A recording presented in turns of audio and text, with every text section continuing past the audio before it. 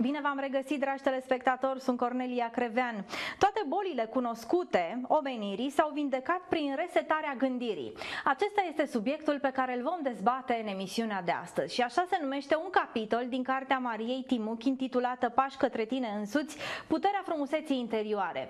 O parte din cărțile Mariei Timuc le vedeți aici în emisiune, sunt de găsit la librăria Ralu, are mult mai multe cărți scrise, vă spun de ele pe parcursul emisiunii, dar vreau să începem pentru că Maria Timuc este acum, pe anul 2018, alături de noi cu acest subiect extrem de interesant. Bine ai uh, revenit, Maria, la Brașov. Mulțumesc că vii de fiecare dată la noi și nu vii singură, vii cu domnul Ioan Busuioc, editura Darana, cea care îți editează cărțile și îi mulțumesc mult de tot că vă suiți în mașină și veniți fuguța la emisiunea mea de câte ori uh, e nevoie. Mulțumim și noi pentru invitație și întotdeauna uh, la Brașov și întotdeauna pentru oameni cu toată dragostea.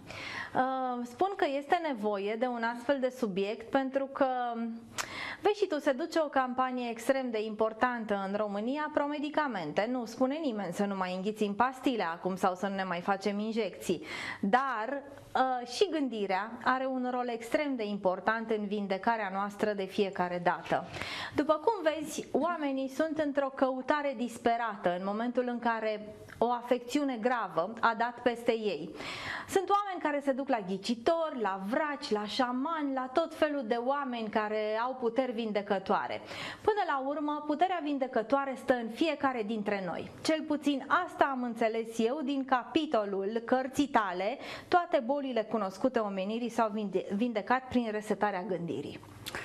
Da, este vorba despre puterea minții. Uh, citatul acesta, uh, toate bolile cunoscute omenirii s-au vindecat prin resetarea gândirii, aparține unui doctor, uh, unui mare inițiat, se numea David Hawkins, care el însuși a avut o experiență spirituală extraordinară de vindecare, vindecarea unor metastaze, era acasă trimis să moară. Ehm, după care a devenit, după vindecarea aceasta spectaculoasă, a devenit uh, unul dintre cei mai mari cercetători ai conștiinței uh, avansate, spune el, și a văzut uh, multe vindecări, cum a și descris foarte mult mecanismele minții, mecanismele ființei interioare și, desigur, chiar prin, și prin proprie experiență, precum și prin anumite testări pe care le-a făcut, a ajuns la concluzia că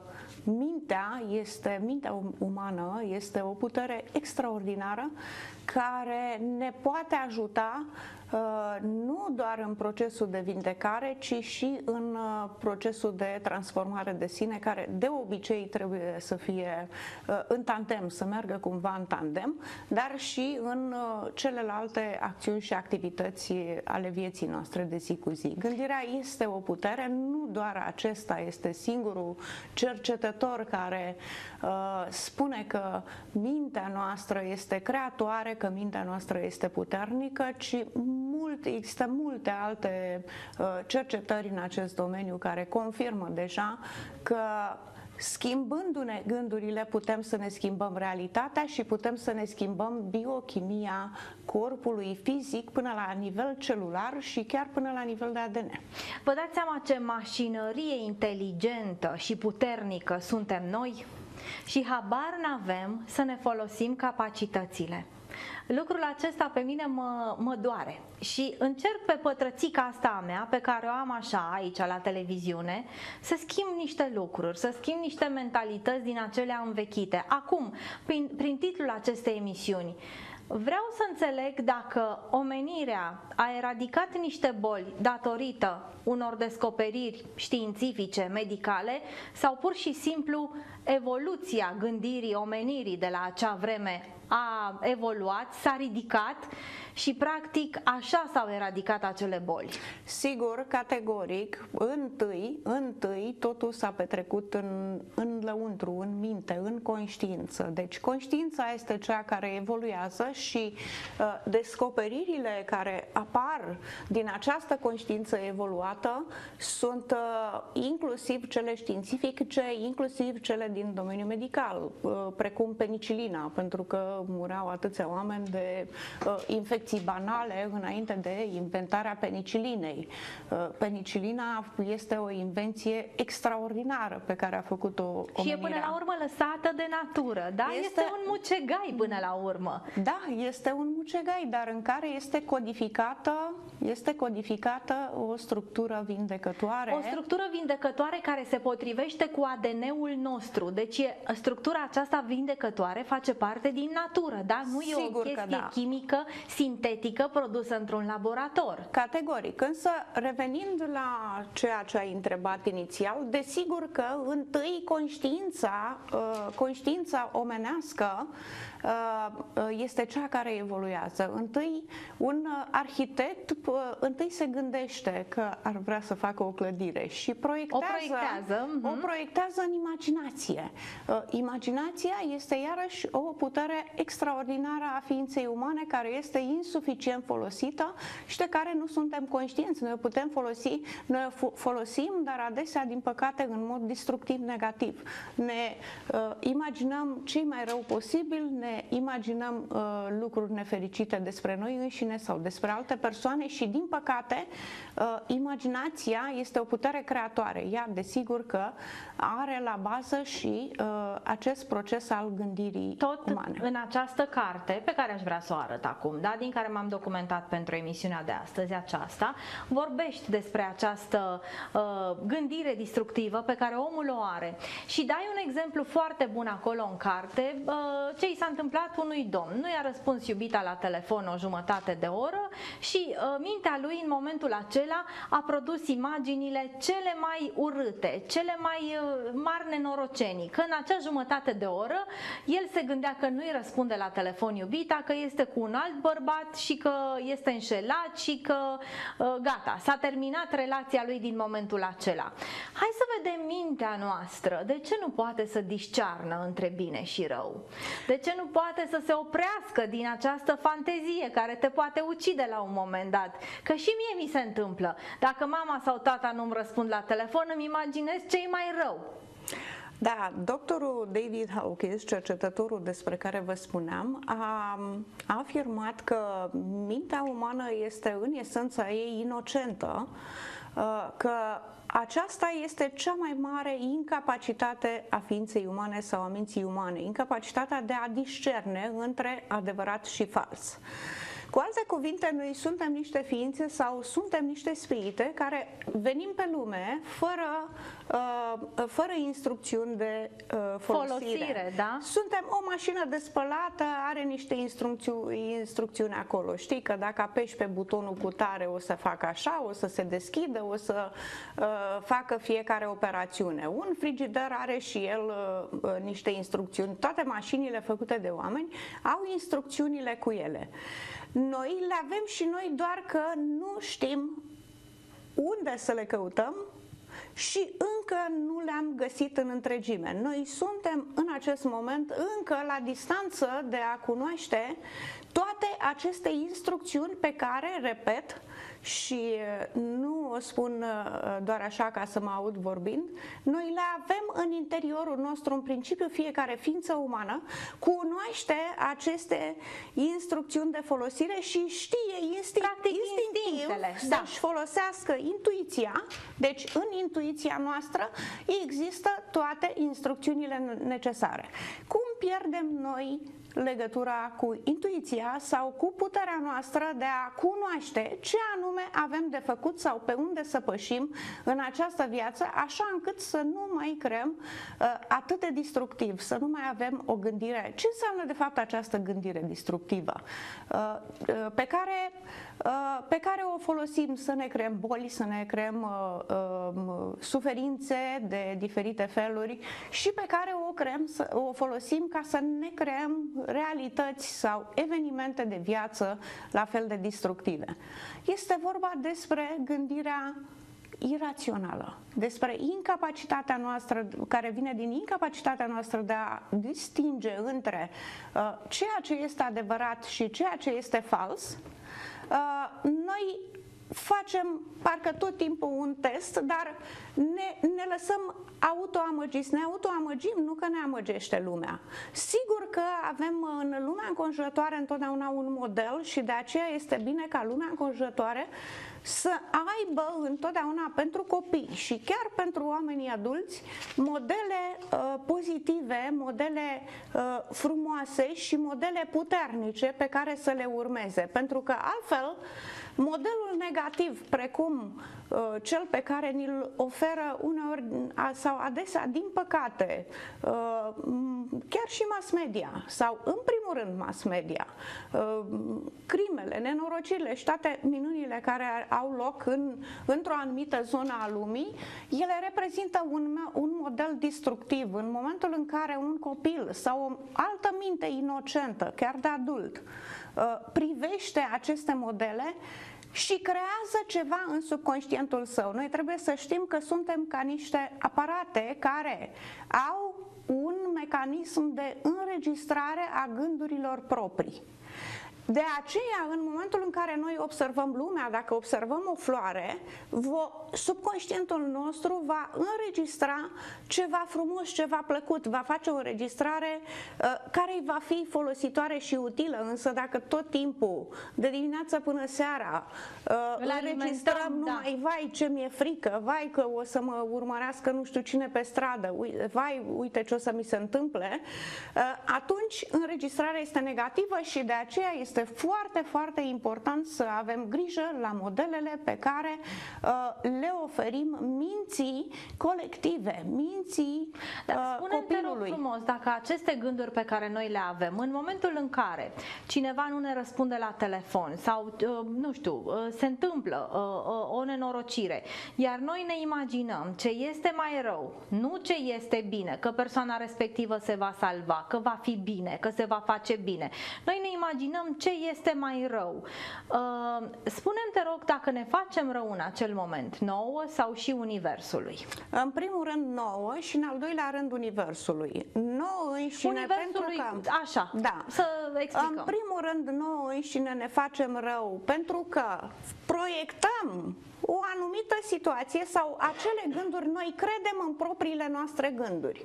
Noi nu avem nicio idee despre ce face persoana cealaltă în momentul în care gândim că uh, o femeie se duce, n-a răspuns la telefon, se duce după alt bărbat, că sigur e cu altul și nebunești, deci persoana se auto-înfurie, da? După starea pe care și-o creează prin propriile gânduri, fără să aibă nicio dovadă în realitate, atunci ea își creează creează, își autocrează o gândire puternică irațională. Cum noi nu suntem niște insule izolate, ci suntem, chiar din punct de vedere psihologic, a fost un mare psiholog, Carl Gustav Jung, care a vorbit despre inconștientul colectiv și despre legătura noastră uh, la acest nivel, legătura noastră permanentă. Inconștienturile noastre sau noi cumva comunicăm unii cu alții. Ceea ce gândim noi e ca și cum se adaugă la o bibliotecă une, uriașă. Uneori uh, intuiția îți spune cam ce gândește uh, cel de lângă tine despre tine sau de foarte multe ori ne trezim că o perso- aflăm că o persoană s-a gândit la noi, uneori chiar îi simțim gândurile. De Acea... la distanță. Da, aceasta este, uh, este o comunicare, sigur că da, care Tot arată. la nivel colectiv, da? Sigur că da. Deci a, aici este implicat, pe de o parte, uh, inconștientul personal care se conectează la inconștientul colectiv.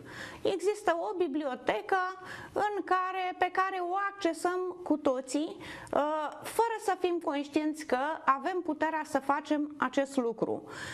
Ar fi bine să fim conștienți că facem însă acest lucru pentru a fi mai responsabili în momentul în care reacționăm la evenimentele vieții. De ce? Pentru că aceste reacții, reacțiile greșite la evenimentele de viață, precum întâmplarea banală de a de te înfuria, carte, da. de a te supăra că nu ți-a răspuns cineva la telefon sau că nu ți-a împlinit o dorință și așa mai departe, aceasta creează, prin aceasta tu creezi un program subconștient subconștientul tău înregistrează automat tot ce gândești tu. Această înregistrare devine un program în subconștientul tău care se autodeclanșează în momentul în care apare în fața ta o situație De furie asemănătoare. sau de- da, bun, o și- situație asemănătoare. Acolo crește, acel ceva crește. Acel ceva negativ, acel program negativ prinde forță, prinde putere, prinde energie Ca să ne- și Da. în momentul în care uh, tu ai vrea, ți se întâmplă un lucru minor, tu ai vrea să reacționezi conștient, să alegi, să gândești conștient și să uh, gândești lucid, acea structură, acel program se ri- ridică la nivelul conștiinței tale, pe conștiința ta și nu îți mai permite să ai o reacție, o aleasă, una pe care o alegi. Va deveni un automatism. Acest automatism va deveni comportamentul tău. De aici vin, de exemplu, crimele. Un om care se duce și furios își ucide soția, pentru că am văzut două situații săptămâna viitoare, Trecută. săptămâna trecută, uh, îngrozitoare. Acești oameni nu mai au discernământ. Aceasta este, a- acestea, acelea sunt momentele în care persoana nu mai au, are discernământ. Ea a gândit, a plănuit să ucidă, să facă, să dragă, dar asta nu înseamnă discernământ. Pentru că dacă persoana asta ar avea discernământ, ar înțelege că ucide pe cineva și că a ucide este un păcat karmic care nu se va șterge uh, decât cu mare greutate din istoria spiritului pe care îl Cam reprezintă câte pe pământ. generații trebuie să treacă să ștergi o crimă din ADN-ul unei familii? Pentru că spui tu foarte bine în cartea ta că păcatul se moștenește pe, la nivel de ADN și am tot vorbit lucrul acesta aici în emisiune. Deci, de exemplu, o crimă, cam câte generații este dusă în spate? Uh, pentru că mie mi se pare un pic nedrept dacă e să o iei așa, ca un copil să ducă în spate crimele părintelui. Da, și mie mi se pare nedrept, n-am spus-o eu asta, o spune uh, Isus, o spune Noul Testament, că păcatele se transmit până la a șaptea A generație. șapte, la până șaptea generație șaptele oare neam. se șterge o crimă? Eu tare mi-e teamă, tare mi-e teamă că nu se șterge singură. Adică tare mi-e teamă Hai să vedem că... din ce ai citit tu, din ce Da. informații ai uh, până în momentul de față. Deci e clar, se știe și e demonstrat științific că acum cei care nu cred în Biblie și nu interesează poate uh, ce, au, ce a spus Isus, da? Că păcatul se moștenește până la Da, șaptea dar generație. putem să facem o analogie cu știința, cu ce a descoperit știința știința. spune că la nivel de ADN o astfel de faptă, o crimă, ceva foarte grav, uh, produce uh, la nivel de celule transformări și acele celule defecte se transmit mai departe generațiilor viitoare și pot uh, forma tot felul de afecțiuni pe teren, pe teren propice. Hai să vedem se șterge o crimă în șapte, peste șapte generații. Uh, dacă omor mai mulți oameni, că ești în război, de exemplu. Aceasta este o problemă pe care mi-am pus-o și eu. Nu știu dacă pot să dau în acest moment un răspuns. Ceea ce pot Ce spune... e mai bine? A, bun, Nu. mai am o întrebare, că am Da, multe întrebări. Imediat.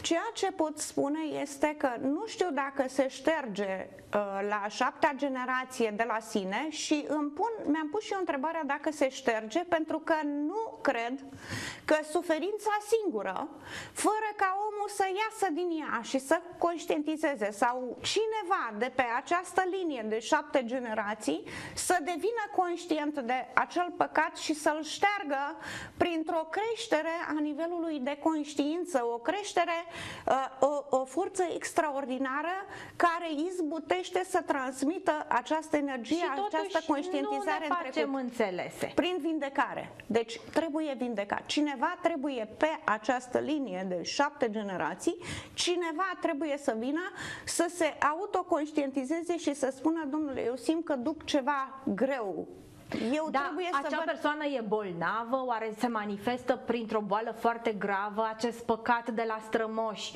la generațiile viitoare? Cum da, se moștenește? În, da? în anumite condiții, da, că dacă ne uităm la gene, la moștenirile Așa. genetice, nu Așa. genele ce duc mai departe. Duc, pe de o parte, anumite afecțiuni fizice pe care copiii nou-născuți le preiau de la părinți și duc, pe de altă parte, niște caractere, do, caracteristici dobândite. Există caracteristici dobândite care se transmit de la copii la părinți. Ia uitați-vă la un copil mic care este foarte agitat și îl auzi pe taică să spună, uite, este la fel de agitat ca maică sa. Nu? Vă spune ceva asta? Da. Uh, copiii vin pe lume și cu anumite trăsături psihologice, adevărat, nu doar da ei pot să aibă instinctul, de exemplu, instinctul ăsta criminal de conștiință foarte joasă, probabil că se naște cu el. Altfel, doctorul David Hawkins face confirmări în această privință. Confirmă... Da, o persoană bolnavă, da?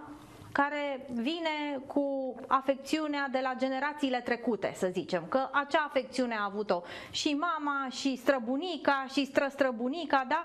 Și te trezești că ai moștenit-o acum în zilele noastre și tu ca om care, uite, ai acces la altfel de informații. Ce faci?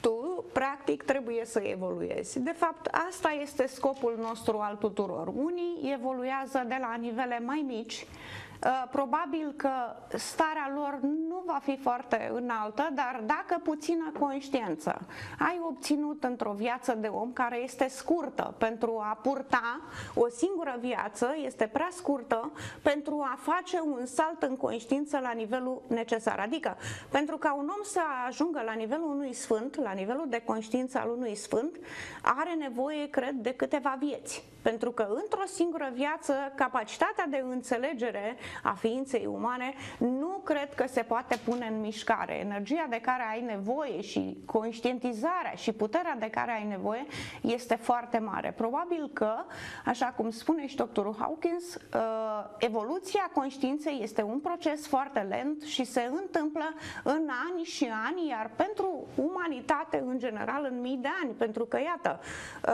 a venit Isus Hristos, uh, ne-a adus legea iubirii, a adus Uh, niște direcții în care, uh, pe care ne-a arătat că am putea să mergem nu mai puțin ca să ajungem, ne fie bine. Da, ajungem la iubire imediat, pentru că n-am terminat cu asta cu ADN-ul, că mai, mai era o întrebare. Da. Deci sunt foarte multe persoane care uh, au omorât în războaie, da? Bunicii, străbunicii noștri. Probabil acele păcate, cum spui tu, nu se vor șterge din codul ADN, poate niciodată în neamul respectiv, poate la al șaptelea neam, cum spune Biblia, uh, sau poate în momentul în care se întâlnește o persoană cu un nivel de conștiință ridicat și prin, uh, nu știu, prin rugăciune, prin uh, evoluție spirituală, prin evoluție în gândire, în sensul că acea persoană ar trebui să facă mult bine, da, în jur, așa se șterge un păcat de genul acesta. Dar în momentul în care ești în război, e mai bine să omori sau să te lași omorât? Ca să nu ducă după, e o întrebare așa de grea, ca să nu ai tu responsabilitatea aceea să, ca tot neamul tău să ducă după tine toate crimele pe care tu le-ai înfăptuit. Deci îmi amintesc că o asemenea o întrebare i s-a pus și lui Buddha. Însă, Serios? da, i-a fost pusă și lui Buddha. În principiu, este cum suntem noi construiți de la natură. Bine, noi avem instinctul ăla de supraviețuire, ca la animale, Conștientul nostru este programat să-și apere viața. Dacă sunt atacat, atunci trebuie să-mi apăr viața cu orice preț. Am spus dacă sunt atacat, nu să mă duc eu să-l atac pe unul, să-l omor. Sub nicio formă, acest păi lucru... și dacă ești atacat și omori, se mai pune păcatul acesta? Nu, nu, asta este cu... Deci dacă tu îți aperi viața, este cu totul altceva. Acesta deci este, nu este un păcat la fel de grav, nu? nu? Viața, că atunci când nu. te duci, ai dat în cap că ai vrut să-i fur banii. Nu, asta este cu totul și cu totul altceva, iar uh, starea interioară din care se întâmplă fiecare dintre aceste situații este poate să fie foarte diferită. Tu apărându-ți viața, poți să simți iubire față de cel pe care l-ai ucis, poți să simți compasiune, pentru că noi să fim bineînțeleși, noi trebuie să ne apărăm de conștiința joasă. Ce este de fapt un criminal sau un om care uh, este crud cu o altă persoană, crud până la nenorocire, l-ar termina psihic uh, uh, și l-ar termina și, și fizic. De unde vine asta? Vine dintr-o eroare permanentă, dar permanentă de gândire și înțelegere și de rațiune. Este o persoană care nu mai raționează. Societatea are nevoie să se apere de această conștiință joasă. Ce înseamnă conștiință joasă? Înseamnă că această persoană nu mai are liber arbitru, nu mai are discernământ. Ăla, dacă a venit să te omoare, el este lipsit de discernământ, însă eu, care am discernământ, trebuie să-mi apăr viața, nu să mă las ucis de unul care Uh, nu discerne între uh, viață și moarte, între Bun, bine și rău. e clar, am da. înțeles. Da, da, deci te rog. Instinctul fundamental al speciei noastre, al tuturor este speciilor, de este de supraviețuire să-și apere viața dacă este atacată. Și totuși, spuneai tu că uh, am fost călăuziți să ne iubim, să ne respectăm, să ne ajutăm între noi uh, și că aceasta este soluția. Ne putem uh, rescrie și reedita subconștientul, este un alt capitol. Hai să mai arătăm cărțile Mariei, da? Un alt capitol din această carte a Mariei Timuc. Toate cărțile ei sunt minunate, o să vă spun de ele, dar pentru emisiunea de, a- de astăzi aici uh, am găsit aceste informații. Deci putem rescrie și reedita subconștientul nostru? Categoric. Hai Cate- să vedem cum. Da, categoric da. Există uh, și chiar direcții în psihologie care au uh, făcut cercetări în privința asta. Există psihologia cognitivă care lucrează cu uh, uh, astfel de uh, schimbări. Uh, există programarea neuro- neurolingvistică, există multe, multe, multe informații în această privință. Uh, este vorba despre, încă o dată, despre a apela la puterea noastră de discernământ. În momentul în care nu avem suficientă iubire, nu suficientă iubire în interiorul nostru, nu avem suficientă putere de a discerne între adevărat și fals, între bine și rău. Dacă dezvoltăm iubirea noastră și în fața răului, de exemplu, ripostăm cu uh, iubire, cu toleranță, cu înțelegere, începem, încercăm cu să calm, liniștim da. lucrurile. Mhm. Cu Mă bunătate. atacă cineva, mă, eu știu, într-un cuplu, uh, vine partenerul și face un scandal. Tu te și ia în brațe în loc să uh, ripostezi și tu uh, cu furie. Sigur că atunci când ripostezi și tu cu furie și asta nu te mai lasă, are, asta are o sursă traumatică, iar trauma, să înțelegem ce este trauma, este o interpretare greșită a unui eveniment de viață. Sunt foarte multe persoane care au făcut interpretarea asta greșită pe un fundal de viață corect, pe evenimente de viață corecte. De exemplu, un copil a fost abandonat de părinții lui la naștere.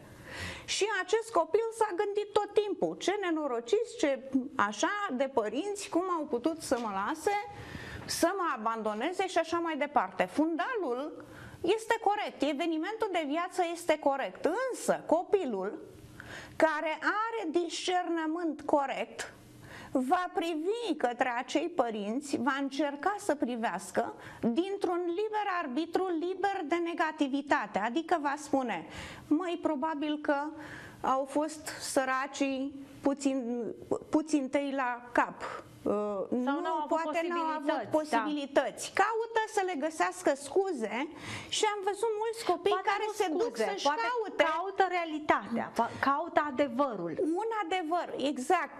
Există un adevăr care are o formă, așa de bună încât nouă ne dă o stare de bine în interiorul nostru. În momentul în care am reușit face să pace. gândim, face pace, acea dar el stare face pace cu în el. conflictul din noi. Sigur, el face pace în el însuși. El înțelege că a fost abandonat de la un nivel de conștiință mai jos și sfârșește prin a avea compasiune față de acest părinte care l-a abandonat. Atunci te-ai vindecat, în ți-ai resetat momentul în gândirea. care p- copilul are această alegere, indiferent care dintre copii este, aceea, aceea nu mai este traumă, nu mai apare în subconștientul lui, apare o structură pozitivă care îl va duce, uite așa în sus în viață, îl va face să zboare. Și putem uh, exemplul acesta să le extrapolăm și către alte Către spețe. orice, către da. orice. Deci, întotdeauna ar trebui să folosim pentru a percepe realitatea, pentru că sursa traumei, încă o dată, este percepția noastră negativă și incorrectă și irațională, care ne creează gândire irațională, iar gândurile ne creează emoții iraționale. Ce sunt păcatele astea de care tot vorbim noi? Sunt programe înregistrate în subconștient care conțin gândurile noastre personale, toate gândurile pe care le gândim. Unele dintre ele sunt, ele sunt, aceste programe sunt și emoții, adică frică, vinovăție, agresivitate, furie, toate programele negative, tot ce înseamnă negativitate, toată emoția negativă, asta este păcatul. Da, tot tu în carte spui că rănile din aceste vieți ale noastre, din această viață, ne vor ajuta să evoluăm. Astfel. Pentru că în această lume, da, în care suntem, oamenii nu se vor comporta corect cu noi, spui tu în carte, pentru că eu am citit cu foarte mare atenție cărțile tale uh, și întotdeauna ne vor judeca nedrept. Nu întotdeauna, dar uneori ne vor judeca. Nu toți ne vor judeca nedrept. Ne vor judeca nedrept cei care, la rândul lor, au o eroare de percepție, adică propriile lor traume. Oamenii ne judecă din propriile lor traume.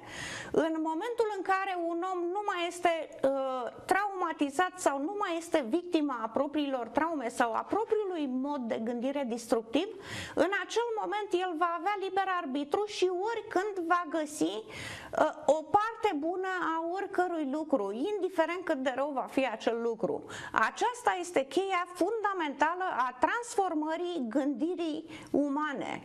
Aceasta este cheia, folosirea puterii noastre de a percepe pozitiv. Când avem această putere, când putem să percepem partea bună chiar a unui lucru negativ, cum am dat exemplu în cazul copiilor abandonați sau în situația în care eu știu, un prieten îmi face o figură, îmi Ceva urât, înșinește, da. un uh, partener de viață, eu știu, îmi spune un cuvânt care sau te uh, îmi displace sau te părăsește. Da. da, întotdeauna își găsește pe altcineva. Tu întotdeauna treaba ta este să-ți folosești în mod pozitiv percepția pentru că altfel tu riști să rămâi și e treaba ta să-ți rezolvi conflictul acesta, să faci pace în sufletul tău cu acest conflict, pentru că altfel îl târi generații de generații după tine și îl transmiți mai departe copiilor tăi.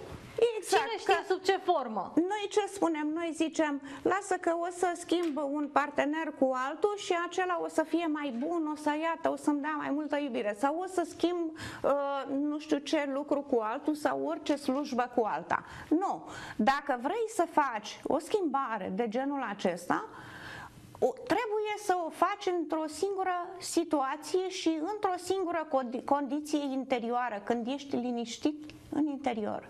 Când ești bine cu tine, niciodată, niciodată nu când, trebuie nu, să când faci... te gândești la un subiect, uh, nu știu, care te-a rănit cândva foarte tare și nu mai simți nimic vis-a-vis -vis de acel subiect, atunci nu ai mai făcut negativitate. Pace. Negativitate. Da. da. Las că-i fac, că-i zic, că da. uh, ce mi-a făcut. Adică conflictul Ei, încă se menține. Când ești sub stare de stres, când ești în stare de furie, când ești în stare de supărare, când ești în stare de negativitate, nu încerca să iei decizii pentru că acela este momentul în care structurile inconștiente, iraționale se află la suprafața conștiinței tale, iar liberul tău arbitru și discernământul tău sunt absente. Bun, tot în carte spui că la mânie, la furie, la reacții de genul acesta, uh, abia după 24 de ore să dăm un răspuns. Da, asta este, asta este un sfat al uh, marilor înțelepți. Hai să vedem care mari, e sfatul lor. Mari, da? mari nu reacționezi imediat, stai 24 de ore, te gândești, mai bine da, spui este, tu. este o poveste pe care o spune Osho despre cineva care uh, se trezește furios, era foarte furios și se duce la un înțelept și îi pune întrebarea iată, eu sunt furios, aș vrea să mă transform, aș vrea să fac cu mine însă, însumi ceva, te rog, spunem ce să fac. Și uh, înțeleptul îl trimite acasă și îi spune iată ce să faci, uh, când ai să te înfurii, te rog să reacționezi doar după 24 de ore. Și firește că după ce trec 24 de ore, persoana se calmează și nu mai are acea reacție de furie. De ce vorbim despre reacție? Pentru că asta este cheia uh, binelui sau a răului din viața noastră, a binelui sau a răului pe care îl înregistrăm în subconștient. Dacă noi reacționăm dintr-o stare de furie sau dintr-o stare de tristețe sau dintr-o stare de durere, de, dintr-o stare nefericită, înseamnă că reacționăm dintr-o structură subconștientă, dintr-un automatism. Ne-am obișnuit să reacționăm așa. Acea obișnuință negativă de reacție, acolo unde ne înfuriem, ne supărăm, ne întristăm, ne simțim îndurerați sau suntem sub stres, practic trebuie nu doar 24 de ore. Eu aș spune că putem în anumite situații mai dramatice, unde nu putem ierta, unde nu ne trece foarte repede situația respectivă sau starea respectivă de rău, să așteptăm până când am reușit să manageriem în interiorul nostru starea noastră să ne de rău. violența și din gând, da? Exact Exact, exact, să ne simțim liniștiți cu noi înșine și după ce ne-am liniștit cu noi înșine, să încercăm să avem o discuție cu o altă persoană. Altfel, dacă vom reacționa din starea de stres uh, interior, întotdeauna reacția va fi incorrectă, va fi greșită deopotrivă față de noi și față de cealaltă persoană și va avea consecințe în viitor pentru că acumulăm energie negativă negativă în programele distructive. Apropo de stres, ce înseamnă stresul? Că toată lumea zice, mă, ce o fi stresul ăsta? Ce să ne grăbim stres? un pic pentru că mai am întrebări și trebuie să vorbim și despre cartea următoare. Da. Stresul este o invazie a unor programe inconștiente din inconștientul nostru uh, sau a unor emoții, ca să uh, înțelegem mai exact, da? Deci este o invazie a emoțiilor care sunt în inconștientul nostru și care, în relația cu anumite evenimente de viață sau anumiți stimuli din viața noastră, se declanșează și apar deodată în structura noastră conștientă. În conștiința noastră, acolo este, ar trebui să fie liberul arbitru. În momentul în care invazia aceasta de emoții negative vine pe structura noastră uh, conștientă, noi avem nevoie de ajutor. În, momentul de, în momente de stres este bine să apelăm la un terapeut, la un psiholog, la un prieten, la cineva care dintr-o stare de limpezire interioară poate să ne ajute să ne ghideze pe un drum bun, să ne uh, canalizeze puțin sau măcar să nu facem acțiuni sau să luăm decizii pentru că e ca atunci când sunt beat și vreau să uh, inventez uh, o, uh, un lucru pe care l-a făcut, uh, ar trebui să-l facă un sabat. Deci, concluzia este foarte simplă. Cărțile Mariei Timuc sunt la librăria Ralu. Ne putem schimba viitorul prin resetarea gândirii și uh, mulțumesc colegii, hai că trebuie să mai arăt și o altă carte. Le strâng pe acestea. Sunt foarte multe cărți scrise de tine, uh, apărute la editura Darana, Pași către tine însuți, puterea frumuseții interioare, Pași către tine însuți, vindecarea cauză cauzală, donator medic-pacient, o altă carte minunată, Călătorie călător prin rânduiala divină, Ovidiu Bojor, omul care a cucerit vârfurile, biografia lui Ovidiu Bojor pe care tu ai scris-o și totodată principii de vindecare fizică, mentală și spirituală, o altă carte pe care ai scris-o alături de Ovidiu Bojor, aproape totul despre iubire și sex, Șansa omului în univers, jocul divin scris alături de Alexandru Mușat și Valentin uh, Nedelea. Și mai sunt uh, și cărțile tale de versuri uh, foarte sensibile și minunate și Dumnezeu dumnezeiește pe aici și iubire de nisip. Și următoarea carte care va apărea la editura Darana și pe care o vom promova pe data de 20 februarie, că iese din tipografie. Frumusețea fără marginea divinului, Marius Ghidel a scris această carte, Calea către fericire. Iar pentru această carte care va ieși în curând la editura Darana, să o arătăm colegii, uh, tu, Maria, ai făcut prefața. Să ne spui câteva vorbe despre această carte care acum e în tipografie și după 14 februarie e în librării. Nu doar prefața, l-am încurajat pe autor să o scrie. El, Așa, da, ai purtat un dialog da. cu el, o discuție, uh, El a venit la mine într-o zi rugându-mă să îi comentez niște experiențe extraordinare de viață pe care le-a avut. Ce fel de experiențe? Uh, este un om uh, absolut special, n-ați mai întâlnit, cred, așa ceva, nici eu nu mai întâlnisem. Mi-a, uh, mi-a mutat puțin mintea în momentul în care l-am cunoscut. Am vrut să văd dacă se află în toți parametrii psihici. Este, însă este o persoană foarte specială, în parametrii mai mult psihici, de, de, mai mult decât normali. Uh, are amintiri din uh, vieți anterioare și chiar amintiri din, uh, de la începutul universului, spune el. el deci în această carte găsim în această detalii despre carte acest găsim, lucru. Da, cum l-a văzut el pe Dumnezeu atunci și călătoria spiritului lui prin univers până la nașterea lui și după nașterea lui și multe, multe experiențe extraordinar de interesante pe care le, el le-a avut în, uh, de-a lungul uh, acestei vieți. Uh, el a venit la mine rugându-mă să-i comentez păi eu, El să scriu spune, eu o carte. A avut până acum? Nenumărate, o să vedeți în carte că vorbește despre nenumărate... Va veni aici în emisiune va și veni va și vă va povesti direct. Cred că vă las, o să-i las plăcerea să spună chiar el despre uh, acest, această călătorie extraordinară a lui prin univers. Uh, și uh, tocmai asta este aceste amintiri, iar pare să aibă o memorie ancestrală. Dar spune este... te rog, s-a reîntrupat în aceste vieți doar aici pe pământ sau și în alte zone?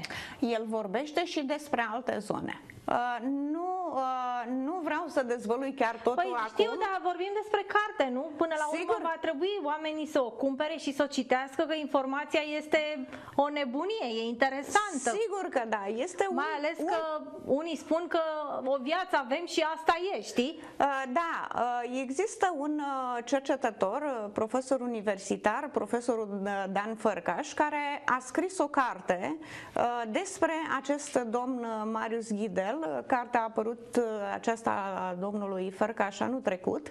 Um, de asemenea, l-a văzut și domnul profesor Dumitru Constantin Dulcan și l-am văzut și eu și cu toții am concluzionat că este o, un uh, personaj absolut special și întâlnirea care cu el... Care vine cu argumente, Care practic, vine cu anumite cu argumente.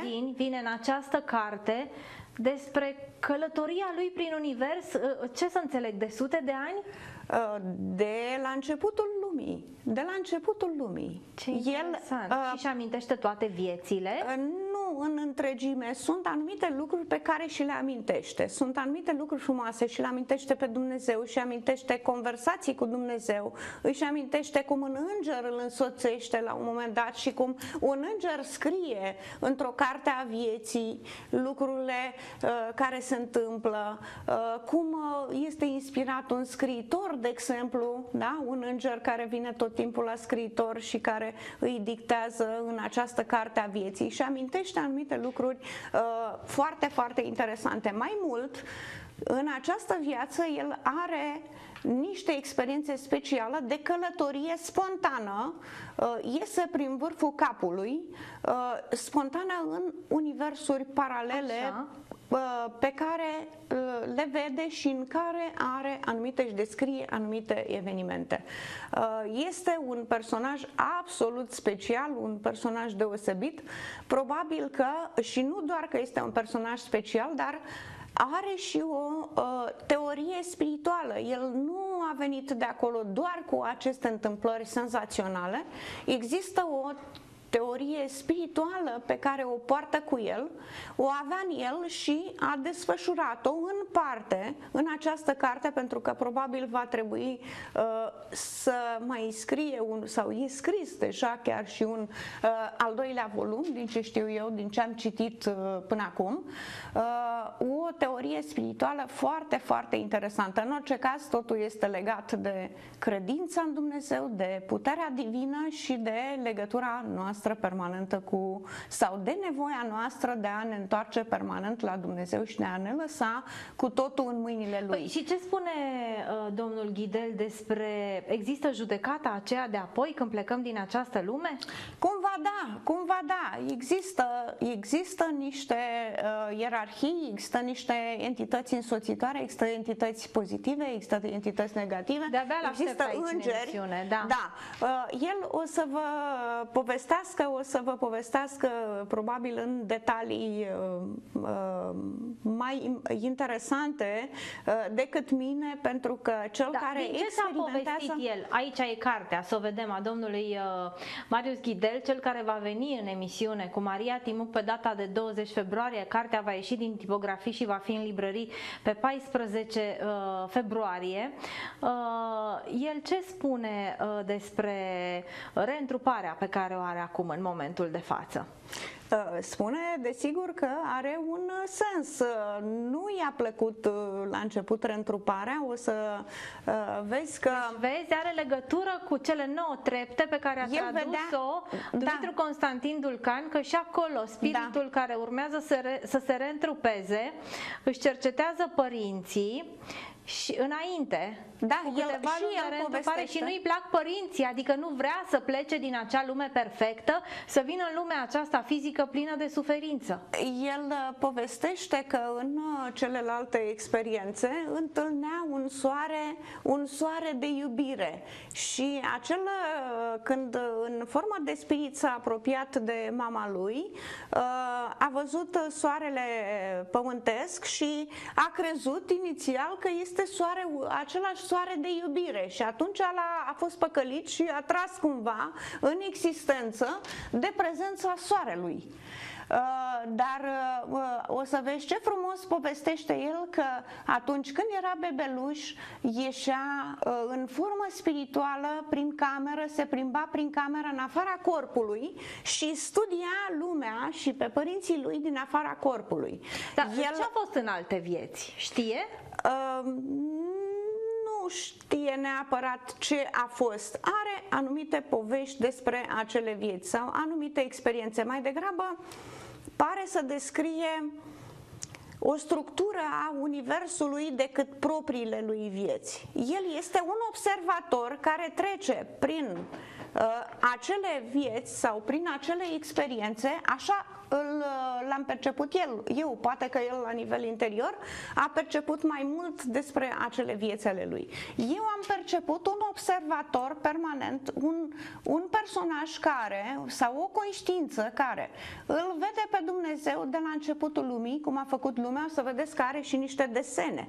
A și desenat cum, cum arată sau cum arăta Dumnezeu sau cum era la lumea la început. E, e un altfel de Big Bang, e un Big Bang spiritual la Marius uh-huh. Chidel uh, și apoi uh, descrie un fel de conformație a universului spiritual, universul spiritual așa cum l-a observat spiritul lui în aceste călătorii. E foarte interesant uh, ce vom afla în 20 februarie aici în emisiune Cartea încă nu este în librărie, în tipografie și uh, va veni uh, și la Brașov uh, din data de 14 februarie.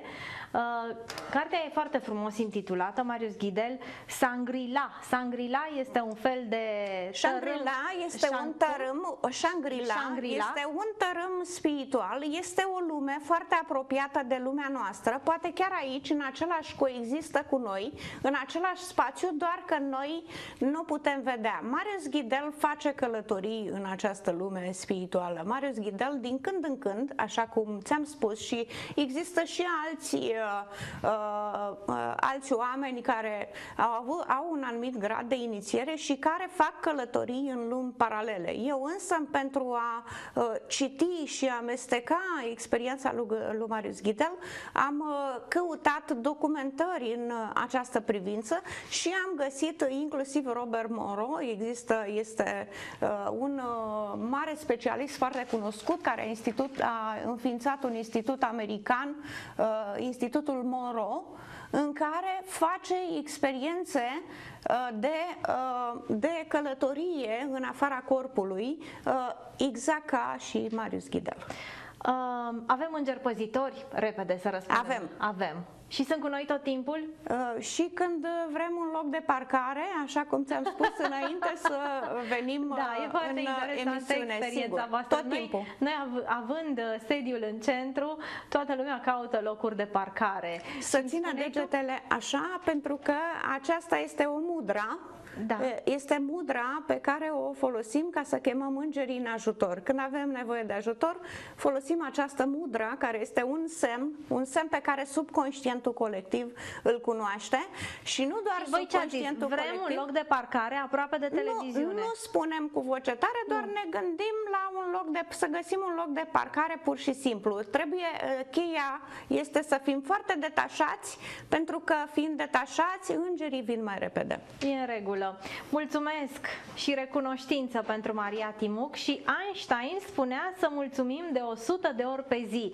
Am găsit în cartea ta lucrul acesta. Așa este, să mulțumim de 100 de ori pe zi, mulțumesc și eu și de 100 de ori și de 1000 de ori mulțumim Domnului că ne-a îngăduit să fim din nou împreună. Și mulțumesc și domnului Ioan Busuioc de la editura Darana pentru că editează aceste cărți, că mi-aduce teancuri de cărți de fiecare dată când vine la Brașov și că o aduce pe Maria cu mașina de fiecare dată când o invit Nu doar aici pe mine în și domnul profesor Bojor și pe domnul Dulcan așa altă e, dată așa și pe toată e, așa lumea. E, pe toată lumea, iar cărțile de la editura Darana sunt la librăria Ralu.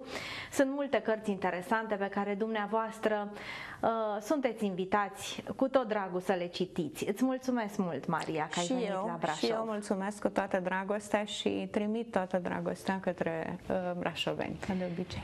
Sunt Cornelia Crevean, mâine sunt aici cu alte subiecte interesante. Vă mulțumesc că ați fost alături de noi. La revedere!